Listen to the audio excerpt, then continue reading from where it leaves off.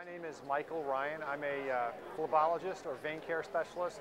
After I'd been in practice in cardiac surgery, I was very excited about the new advances in vein care, and I saw the tremendous benefits to the patients with treatments that are available now in the office, and I decided to focus my practice entirely on vein care and vein, treatment of vein conditions. Philosophy of our practice is, is really twofold. One is uh, we consider it our mission to help people relieve their suffering from vein conditions, not only the discomfort and symptoms that they're having, but also the unsightly appearance.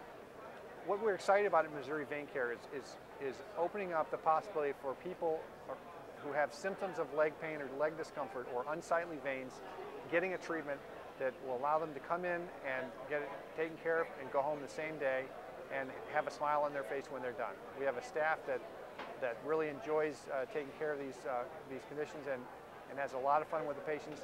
And I think that uh, one of the things I'm really proud of is that when we're working every day, what you hear in our office is people laughing.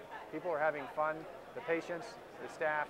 I think that, that shows we're doing something right.